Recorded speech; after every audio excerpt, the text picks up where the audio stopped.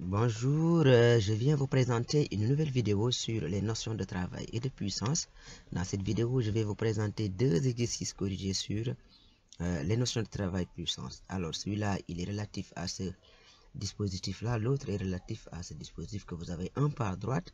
Et à la fin, je vous donnerai un petit exercice de, bonus euh, à travers la figure que vous voyez un peu ici en bas de votre écran.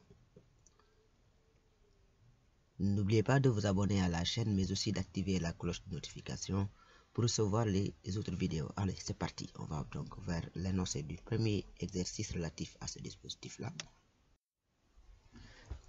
Alors, un solide ponctuel S de masse per thème égale 500 grammes est lâché en A sur une piste A, E, B, C, M, D située dans le plan vertical, voire figure. Les parties A, B et C, D sont des portions de cercle de rayons respectifs O1A égale R1 égale 15 cm et O2D égale R2 égale 20 cm. La partie BC est rectiligne horizontale sans frottement de longueur L égale 1,5 m.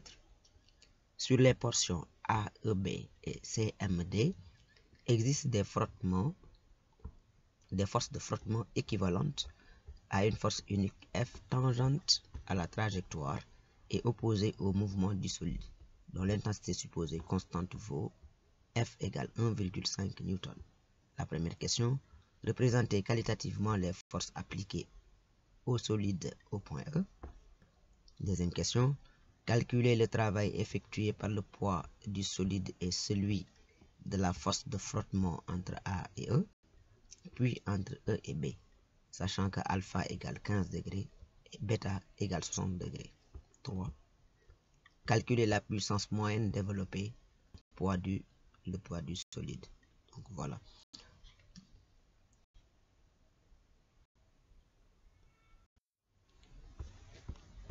Trois donc sur la portion CM sachant que θ égale 30 degrés et que le déplacement s'est effectué en 2 secondes 3,2 sur la portion CD si la montée a duré 7 secondes donc voilà euh, l'énoncé. Donc nous allons passer donc euh, à la résolution donc de, l'exercice. Alors nous allons commencer à répondre à la première question, représentation des forces au point E. Donc, voilà donc le point E, on reprend le dispositif, le point E. Alors les forces, il n'y a pas de problème, nous savons que il y a le poids P, il y a la réaction normale, voilà, qui est orientée vers le centre. La normale a un cercle et la droite qui passe par le point considéré est le centre du cercle. Voilà, donc la réaction normale, elle passe par le centre toujours dans, un, dans une portion donc euh, circulaire. Et il y a la force de la force de frottement. Voilà. Donc pour sur ce solide, les forces sont le poids P, la réaction normale et la force de frottement. La force de frottement au passage, elle est toujours tangente, n'est-ce pas, à la trajectoire, au mouvement. Donc ici, c'est la perpendiculaire donc au rayon qui passe par le point. Deuxième question, nous allons calculer le travail de paix donc du poids et celui de la force de frottement entre le point A et le point A. Alors donc nous sommes ici entre le point A donc et le point E. Entre A et E, le corps, il descend. Donc, le travail du poids va s'écrire MGH. Donc, dans ces notions de travail et de puissance, pour toujours s'en sortir, il faut toujours écrire la relation qui permet d'avoir la grandeur ou le travail qui est demandé. Par exemple, ici, c'est très simple. Donc, le travail du poids, puisque le solide descend, on peut écrire donc que le travail du poids, c'est MGH. Très bien. Maintenant, pour trouver H, on va tracer l'horizontale qui passe par, par A et l'horizontale qui passe par E. Voilà et on a la distance qui représente donc h. Voilà. Donc quand on regarde donc cette euh, hauteur h entre le point A et le point E, ça c'est le secret. Donc il faut tracer toujours l'horizontale qui passe par A, l'horizontale qui passe par E et la distance qui les sépare revient donc représente la hauteur. Maintenant, il y a toujours une position remarquable qui est la plus efficace pour trouver la hauteur. Dans ce schéma-là, la position la plus efficace, c'est ici. Voilà. Maintenant, pour être aussi beaucoup plus organisé, lorsqu'on projette A suivant ce rayon vertical, ce point, on peut l'appeler A'. Lorsqu'on projette E suivant ce rayon vertical, ce point, on peut l'appeler E'. Ce qui fait alors que, ici, on va voir que H n'est rien d'autre que la distance A'E'. Et A'E', c'est O1 E' moins O1 A'. Voilà. Maintenant, O1 A', quand on le regarde, donc euh, O1 A', il y a un angle qui est là. L'angle intercepté, c'est l'angle bêta. Donc on va voir que O1 A', c'est R cosinus bêta. Maintenant, quand on regarde donc, euh, quand on regarde maintenant O1 E', voilà O1 E', voilà, donc c'est dans le triangle E, O1 E'. Alors, on va voir que ce triangle-là, il intercepte ici un angle qui est là. Mais attention, cet angle-là, si on le regarde, tout ça c'est bêta. De là à là, c'est alpha. On va voir donc que cet angle-là, c'est bêta moins alpha. Très bien. Donc la, la distance O1 E', cette distance-là, c'est donc égal à, donc à R cosinus 2, cet angle-là qui est bêta moins alpha. Voilà. Donc, donc cette distance donc O1 A', c'est R1 donc cosinus de bêta.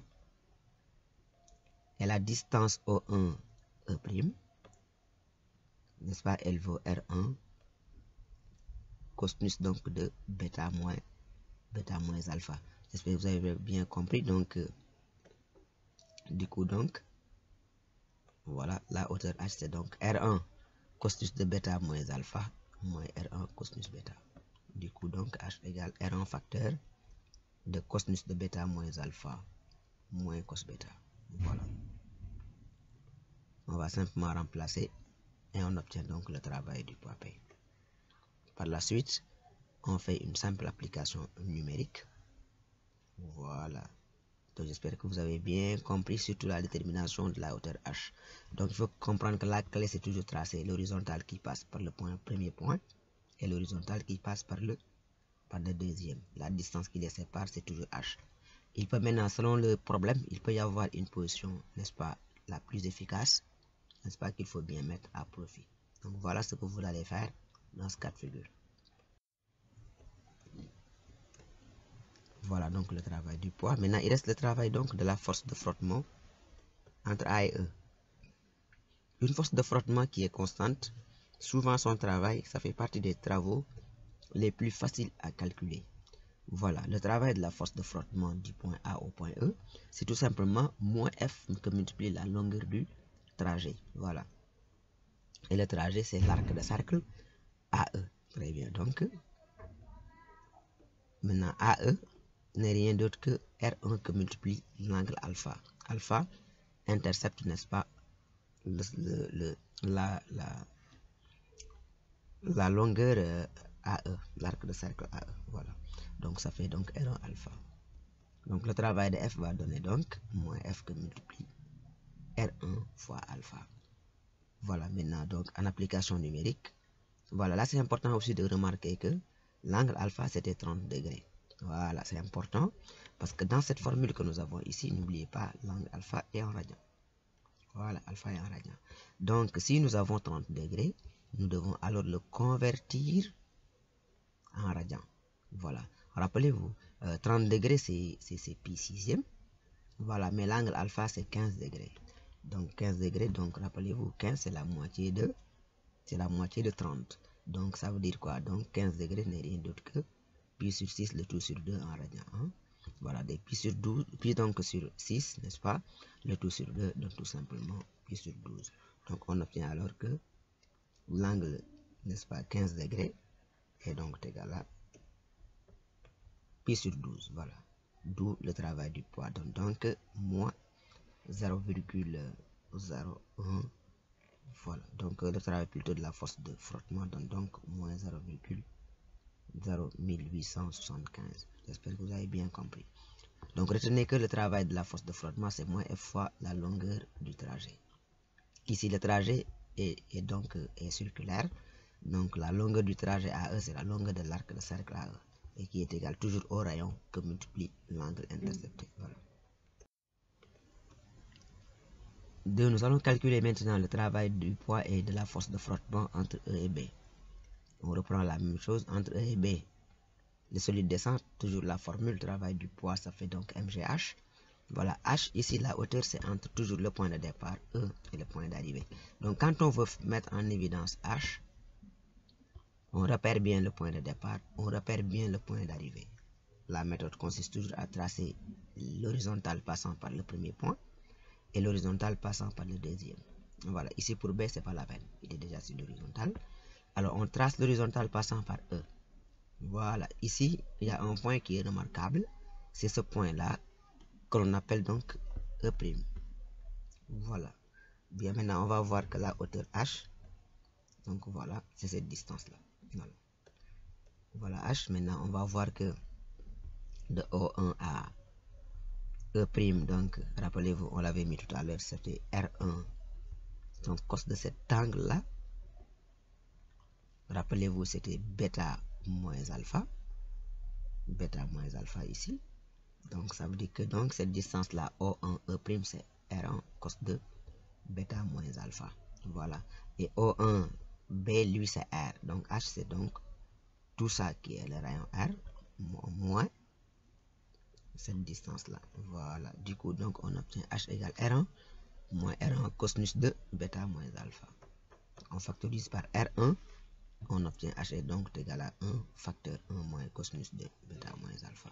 On remplace simplement h par son expression dans l'expression de W de P. Et voilà, on, voilà donc l'application littérale du travail du poids. J'espère que vous avez bien compris. Voilà, donc par simple application numérique, on fait le calcul et on a la valeur. J'espère que vous avez bien compris donc ici la hauteur h. Le seul problème à remarquer ici, c'est que ici, l'angle que nous avons ici, dans la détermination de O1, E', cet angle-là, c'est bêta moins alpha. Voilà ça qu'il faut voir. Maintenant, le travail du poids est donc égal à 0,22 joules. Bon, s'il n'y a pas d'erreur, là, vous pouvez vérifier. Le travail maintenant de la force de frottement entre E et B, même, démarche que tout à l'heure. Le travail de la force de frottement, c'est moins F que multiplie l'arc de cercle EB.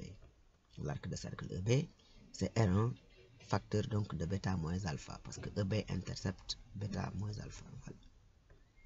Donc le travail de la force de frottement, c'est donc égal à moins F que multiplie R1, facteur de bêta moins alpha. Voilà, bêta moins alpha, on va le convertir, n'oubliez pas, en, en radian.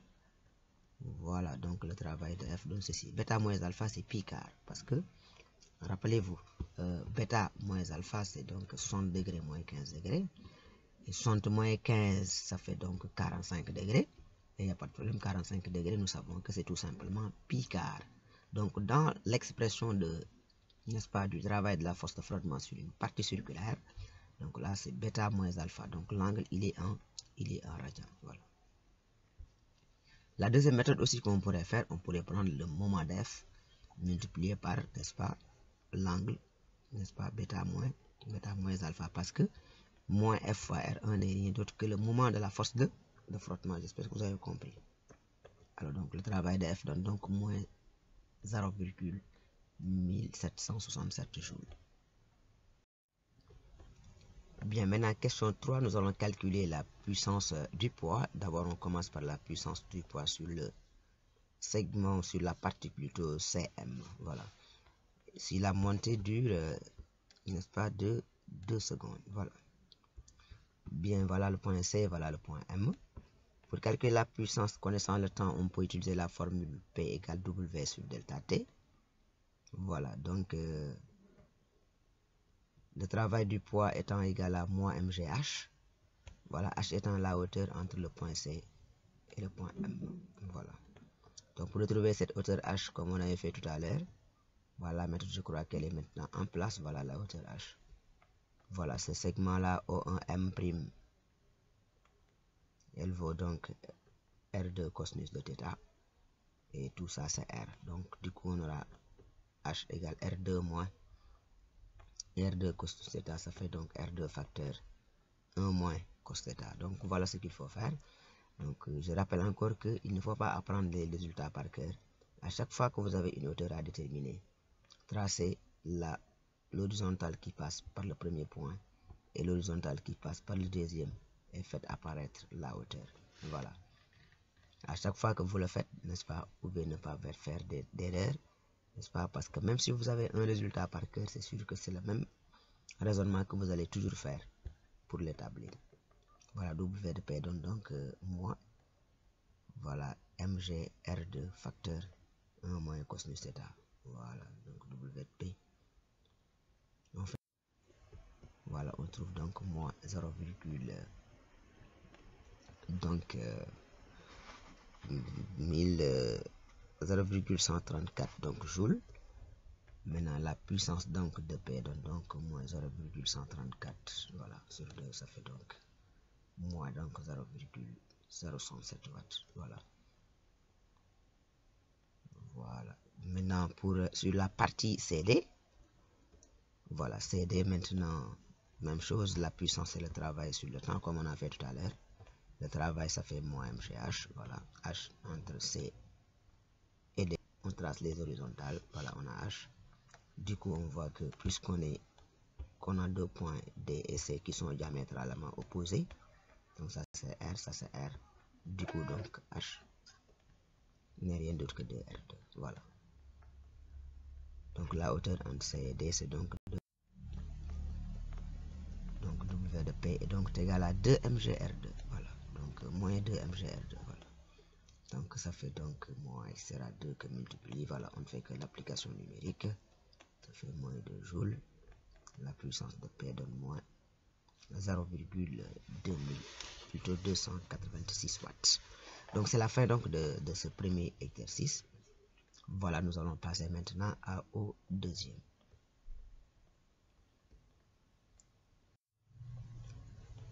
Bien, maintenant pour l'exercice suivant, donc euh, on considère euh, le système schématisé sur la figure suivante. Le ressort a une raideur K égale 10 Newton mètre moins 1 et une longueur à vide L0 égale 30 cm.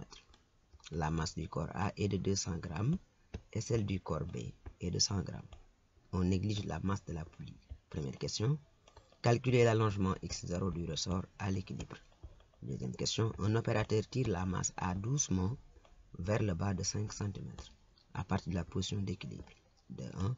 Déterminer les travaux des poids PA et PB des, des, des, des corps A et B. De 2.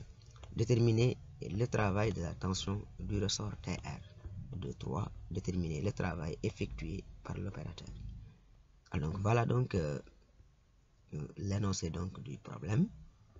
Voilà, on a deux corps MA et MB et voilà reliés par un fil qui traverse une poulie de masse négligeable.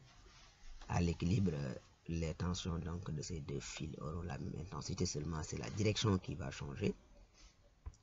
Voilà, ok. Donc on va donc répondre à la première question qui consiste à calculer l'allongement du ressort à l'équilibre.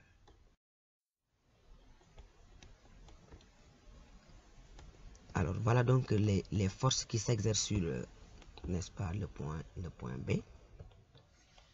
Il y a les, forces, le poids PB, n'est-ce pas, la réaction normale et la tension TB du fil. Maintenant, il y a ici un ressort qui exerce ici une tension T du ressort. Maintenant, il y a un petit commentaire à faire ici. Donc, la question est de savoir est-ce que la tension du ressort est orientée vers le haut ou bien est-ce que la tension du ressort est orientée vers le bas? Pour cela, Rappelez-vous, la masse du corps A, c'est 200 grammes. La masse de B, c'est 100 grammes. Ce qui fait que donc, euh, si on se passe du ressort, on va voir que le poids de A est plus grand que, n'est-ce pas, le poids de B. Ce qui fait que donc, c'est A qui va emporter le système. S'il n'y avait pas ce ressort, le système donc allait se déplacer comme ça. A allait descendre. Cela veut dire quoi? Donc, si le système est maintenu en équilibre, donc le poids, plutôt donc la, la tension T du ressort alors orientée vers le bas. Voilà. Cette tension T du ressort, elle est vers le bas. Voilà. Donc voilà donc les forces qui s'exercent sur le corps B. C'est la tension TB, la tension T du ressort, le poids PB et la réaction normale. Maintenant, on va projeter cette relation vectorielle euh, dans un, repère, donc dans suivant un axe, un axe X qui est toujours parallèle au plan. Voilà, et un axe Y qui lui est perpendiculaire. Voilà. Et maintenant, les projections donc, euh, vont se faire comme suit. Donc, on va projeter le poids P et l'angle alpha ici qui est formé avec la verticale cette fois-ci. On le retrouve ici. Voilà. Il est formé entre P, n'est-ce pas, et l'axe X. Voilà. En vertu des angles correspondants. Ici, on le retrouve par là en vertu des angles alternes internes. Voilà. il y a aussi le poids PA du côté de A, il y a le poids PA et la tension TA. Là, il n'y a pas de problème. Voilà, pour A, il n'y a que deux forces, donc à l'équilibre, TA égale PA. Voilà donc les forces qui s'exercent sur les deux systèmes, donc euh, la masse B et la masse A. Donc pour la masse A, il n'y a pas de problème, TA est égal à PA. Maintenant, puisqu'on a le même fil ici de A à B qui relie les deux solides, donc la tension TA, TB, elle a la même intensité que la tension TA, c'est important. Voilà, on va maintenant revenir ici. On va appliquer la somme vectorielle maintenant, n'est-ce pas, au solide B. Pour cela, on aura besoin donc de faire TB plus Rn plus euh, PE plus TB égale à au vecteur nul. Voilà. Pour résoudre l'équation vectorielle, on aura besoin des coordonnées de TB, des coordonnées de P, des coordonnées de Rn et des coordonnées de T. Il n'y a pas de problème. Pour TB, il est suivant X. Donc TBX égale TB et TBY égale 0. Voilà. Pour Rn, pour Rn, donc euh, Rn est suivant Y, donc Rnx égale 0. Rny égale Rn. Voilà. Maintenant pour euh, le poids P, voilà, Px est là, ça fait moins P cosinus alpha parce que l'angle alpha est là. Px est ici, elle est adjacente à l'angle alpha. Ça fait donc Px, ça fait donc moins Pb cosinus alpha, Pby c'est moins Pb, n'est-ce pas, sinus alpha. Voilà. J'espère que vous avez bien compris. Voilà, maintenant, ceci, donc je l'ai fait ici, c'est pour que vous puissiez bien voir. J'ai un peu anticipé donc sur la réponse parce que ceci, on aura besoin de ces coordonnées dans, n'est-ce pas, l'action de l'équation vectorielle PB plus TB plus Rn plus T égale vecteur nul. Voilà. Donc le Tx, lui, c'est moins T et Ty. Voilà, système mobile B, le bilan des forces PB, TB, Rn, la condition d'équilibre donne la somme vectorielle égale vecteur nul, donc PBX, Tx, TBX plus Rnx égale 0. On rappelle donc, euh, voilà, donc PBX égale à moins PB. Rappelez-vous, cos alpha, Tx c'est moins T, TBX, TB, Rnx égale 0. Voilà, on fait remplacer. Voilà ce qu'on obtient. Voilà, puisque c'est la tension, c'est donc l'allongement qu'on qu cherche. L'allongement se trouve dans la tension du ressort. Donc, donc on a donc T égale TB moins PB cosinus de alpha en remplaçant PB par MB fois G. Donc on aura donc, euh, voilà. Donc voilà une relation que nous allons appeler 1. Donc T égale à TB moins MG cosinus alpha. Donc voilà ce qu'on peut avoir de l'équilibre donc de, de la, du, solide, du solide B. L'équilibre du solide B, n'est-ce pas, commençant par la somme vectorielle des forces égale vecteur nul, aboutit à T égale TB moins MBG cos alpha. Rappelez-vous, TB maintenant est égal à T, TA qui est égal à PA simplement. Voilà, donc on va continuer. Donc, système solide, donc A, PA, TA, condition d'équilibre PA plus TA égale vecteur nul. TA c'est moins PA, donc TA égale donc à PA. Donc TA c'est donc égal à M fois G. Maintenant, puisque, voilà, ça c'est la relation donc numéro, numéro 2 que l'on obtient à partir de l'équilibre du solide, du solide A. L'équilibre du solide A conduit à TA égale à MA fois G. Rappelez-vous donc, nous savons que donc T égale TB, donc moins, voilà mg cosinus de alpha, puisque TA est égal à, égal à TB, donc euh, voilà, relation numéro 3, on remplace, voilà, Très bien, on obtient T égale à MAG moins MBG cos alpha. Donc T égale à MG facteur M, donc plutôt G facteur de MA moins MB.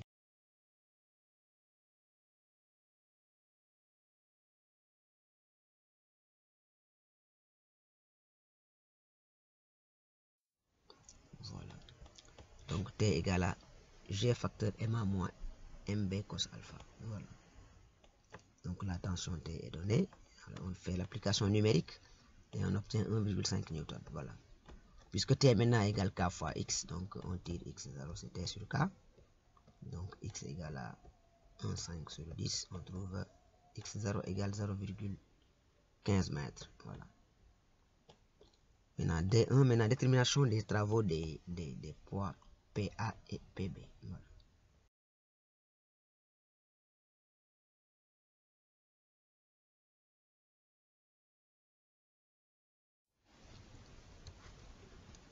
Bien, nous allons calculer donc euh, les travaux des poids PA et PB. Alors, lorsque A descend de 5 cm, quand A descend de 5 cm, alors B monte voilà de la même distance. Ça qu'il faut surtout comprendre. Lorsque A descend de 5 cm, donc B monte de 5 cm. Voilà. Bien, maintenant, ça veut dire quoi que le travail du poids donc de A, le poids pour A, donc PA, donc euh, ce sera MA fois G fois H, HA, mais HA égale à 5, 5 mètres, 5 cm plutôt. Voilà, mais pour B, pour trouver la hauteur H, donc il parcourt une distance D sur le plan incliné, donc voilà la hauteur H en rouge, l'angle alpha on le trouve ici. Donc cette, hauteur h donc sera donc égale à d que multiplie le cosinus de l'angle alpha. Donc voilà. h égale d cos alpha. L'angle alpha on le trouve ici. Donc voilà hb. Donc si a descend de 5 cm, donc b monte donc de, n'est-ce pas, de d cosinus de alpha. Mais alpha ici est l'angle formé par, n'est-ce pas, la verticale et le plan. C'est tout. Si alpha était ici, on aurait sinus. Voilà. Maintenant, le travail du poids PA, c'est MG, HA, MAG, HA. On fait une simple application numérique. Voilà. Pour PB, ça fait donc moins MG H de B. Voilà qui est égal à moins MGD cos alpha. Voilà. Donc voilà PB. Donc le travail de PB. Donc voilà donc les travaux donc de, de PA et de PB. J'espère que vous avez bien compris pour les travaux.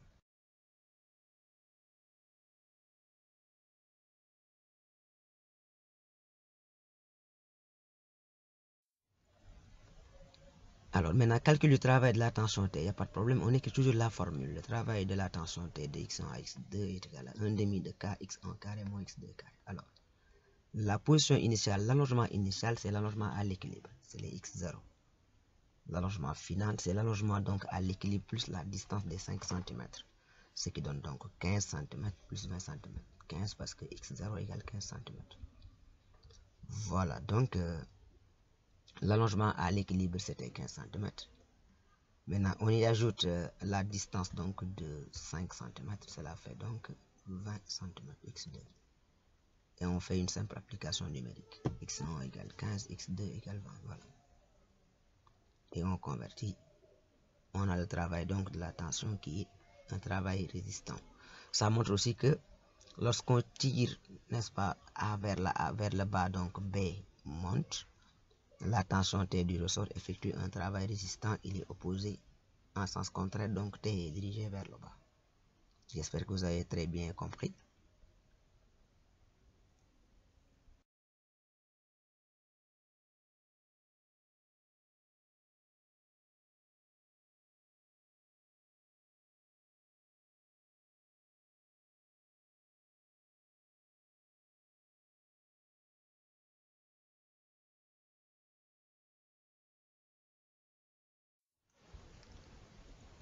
Alors maintenant, nous allons calculer le travail de l'opérateur.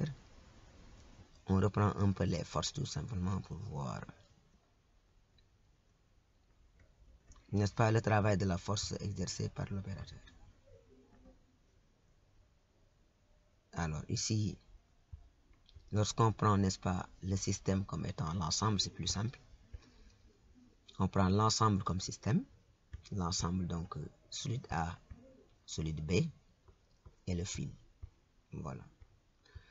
Donc dans ce cas, si on prend l'ensemble comme système, on enlève maintenant les tensions. Les tensions TA et TB deviennent des forces intérieures. Donc si on prend l'ensemble comme système, donc les tensions, on ne va pas en prendre compte.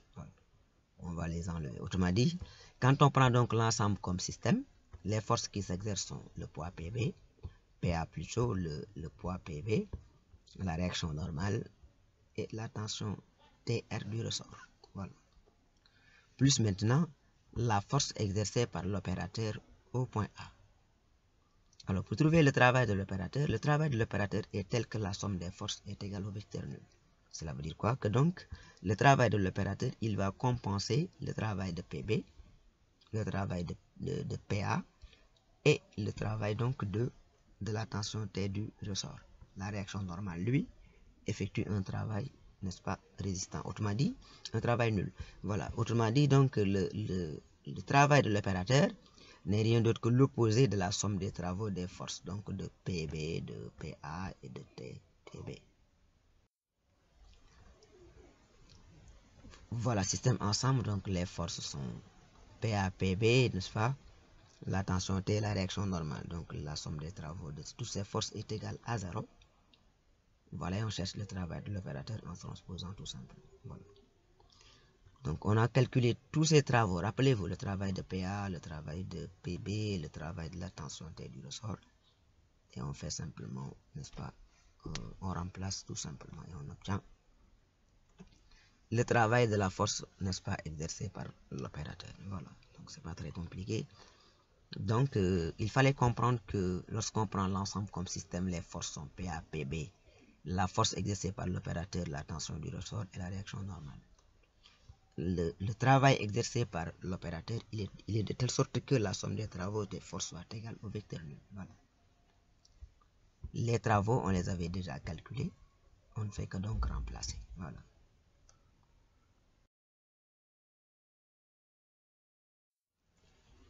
Maintenant, nous allons en allons donc au bonus. Voilà, il y a un bonus ici, cet exercice-là. Une glissière est formée de deux parties. N'est-ce pas, figure ci contre AB est rectiligne et plutôt plan incliné de 30 degrés par rapport à l'horizontale. De longueur AB égale L égale 1 mètre. BC est une portion de cercle de centre O et de rayon R égale 2 mètres et d'angle θ 0 égale OC, OB égale à 60 degrés. Dans tout le problème, on prendra G égale 10 mètres secondes par seconde au carré. Et on considérera les frottements comme négligeables. Un solide ponctuel de masse M égale 100 g quitte A et arrive en B. De 1, déterminer le travail du poids du solide à B. De 2, le solide aborde la partie circulaire, déterminer le travail de son poids de B à M. Nota bene, on prendra θ égale 30 degrés.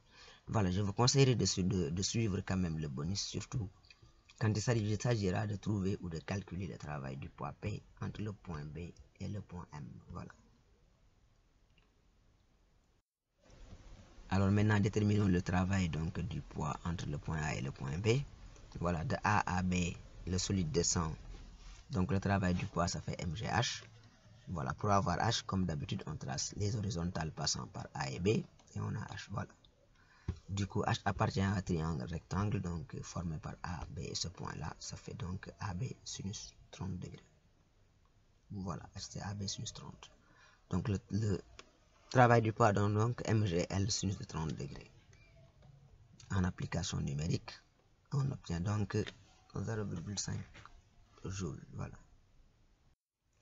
Maintenant, le travail du poids de B à M, on trace toujours l'horizontale passant par P, l'horizontale passant par M et on obtient la hauteur H. Voilà, la hauteur H est là.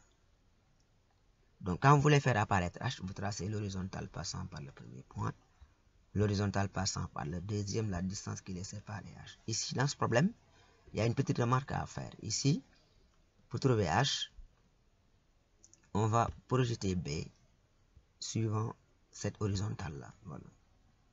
On va le faire aussi. Quand on le projette, quand on projette B suivant cette horizontale là, on a un point ici B'. Dans le triangle, dans ce triangle là formé par ce point O et ce point là, donc nous avons un rectangle ici, l'angle c'est 60 degrés qui est opposé à cette distance là. Voilà, donc cette distance, regardez-le bien, il donne R sinus de 60 degrés. Voilà. Mais maintenant, regardez, on va aussi exprimer cette distance-là. On va projeter M. Voilà, suivant la verticale, suivant aussi l'horizontale, OC. Voilà. On va utiliser aussi le triangle formé par M, O et ce point-là. Voilà ce triangle. Ça, c'est l'hypoténuse R. L'angle, c'est cette fois-ci, c'est θ ici. Voilà, du coup, ce segment-là donne R sinus θ. Voilà, ça c'est R sinus θ. Ça c'est R sinus 60. On va voir que cette hauteur H là n'est rien d'autre que cette distance moins celle-là. Voilà.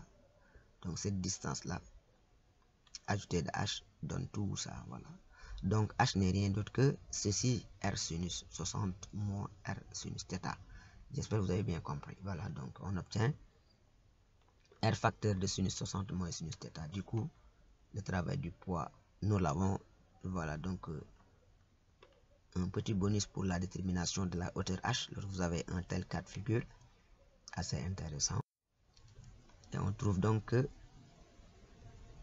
ça fait donc 0,732 joules. Donc voilà donc la fin donc de cette belle vidéo. Je vous remercie de votre aimable attention. Voilà.